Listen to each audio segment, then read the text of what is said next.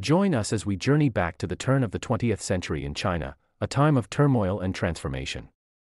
This video explores the Boxer Rebellion, a powerful uprising against foreign influence and the quest for national sovereignty.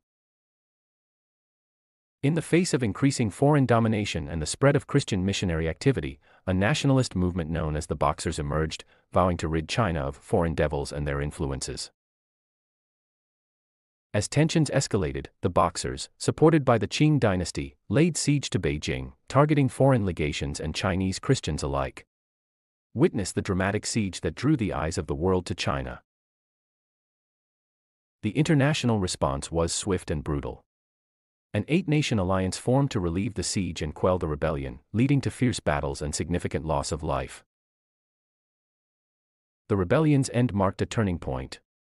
The signing of the Boxer Protocol subjected China to heavy indemnities and reinforced foreign control, deepening the country's nationalistic resolve. Beyond the immediate aftermath, the Boxer Rebellion had profound implications for Chinese society, the weakening of the Qing dynasty, and China's path towards modernization and reform. As we reflect on the Boxer Rebellion, consider its historical significance, its contribution to the anti imperialist struggle, and its enduring legacy in the narrative of Chinese nationalism.